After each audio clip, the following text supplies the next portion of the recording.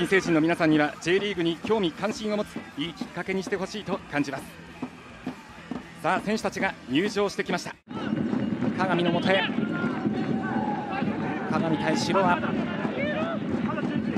下がってムタのクロス。ヘディングシュート。左ポスト直撃右足和田守りきった血の井田群馬。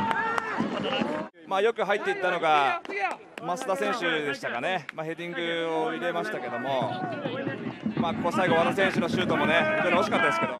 キリがチェイス、旗を川上へ、ブレンネルが迫る、ずらして、加藤、ワンタッチ、深堀のシュート、野沢、ファインセーブ。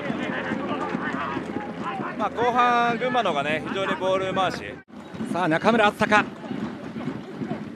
中村敦隆がブレンネルへ。ワンタッチ。中村敦隆低いクロス飛び込んだ。こぼれ球。これも止めた。ファインセーブ口引き。小松。キープして。左へ。ブレンネル。ブレンネルが切り込んで。右足。これも止めた。スーパーセーブ口引き。まあ、串引選手、このスーパーセーブはさすがですよね。まあ、このさあここで群馬がボールを奪います。前を見た。前、うん、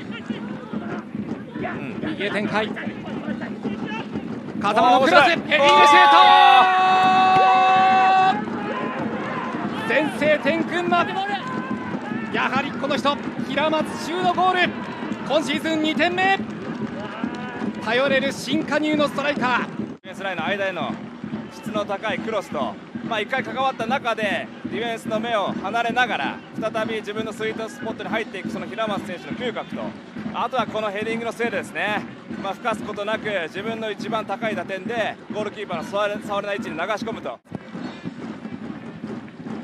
大きく蹴ったボール。甲斐がヘディング。